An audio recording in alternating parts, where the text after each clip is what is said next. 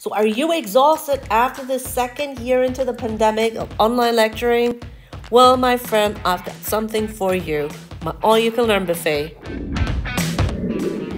You're gonna learn the exact formula of my all you can learn buffet based on my knowledge as a psychologist, as a neuroscientist, and also as an IT strategy consultant. But why should you offer great lecturing? Well, when you offer great lecturing, your students will learn much better. And uh, if they know you much better, then they can also ask themselves whether they want to be in your research lab. And that's bingo. And that's why it's so important to be great in lecturing. Then my All You Can Learn buffet, I'll teach you how to do this and what is needed. What are the ingredients of buffet. First, we have to talk about the future of work. With the machines evolving, we need our students to race against them and win. IT is a means to achieve something, and mindset rules. So, a fool with a tool is still a fool.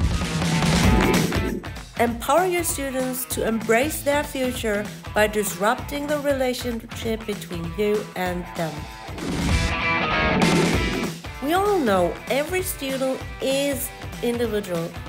Their learning curves and journeys are totally different. So, why don't we feed them with the things they need when they need it?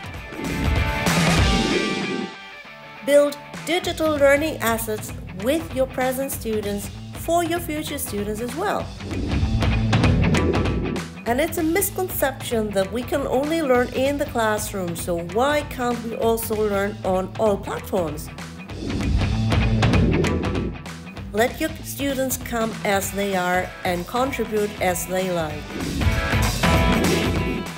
Believe me, I'm doing this since 2014.